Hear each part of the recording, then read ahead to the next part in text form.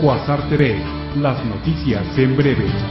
El centro histórico de la ciudad de Morelia se llena de color y júbilo gracias a los visitantes que provienen de diversos puntos de la República, quienes con cánticos de alegría y motivación esperan la llegada del Santo Padre.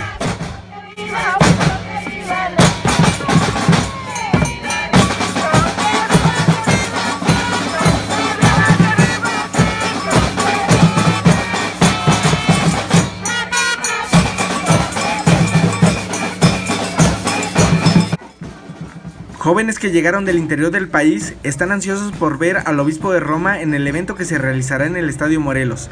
Mientras tanto, pasean entusiasmados por las calles de la ciudad. Pues primero como un honor, un orgullo que haya escogido pues nuestra tierra mexicana y Michoacán para venir a visitarnos y tener el encuentro con jóvenes y pues tener esta oportunidad tan grande de poder ver pues al Papa tan cerquitas con tan solo eh, unos metros de distancia y aunque no nos separe como a saludarnos para nosotros ya es una bendición que pase cerca de nosotros.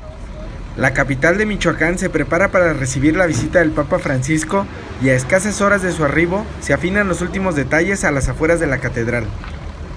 Para Cuasar TV, César Hernández.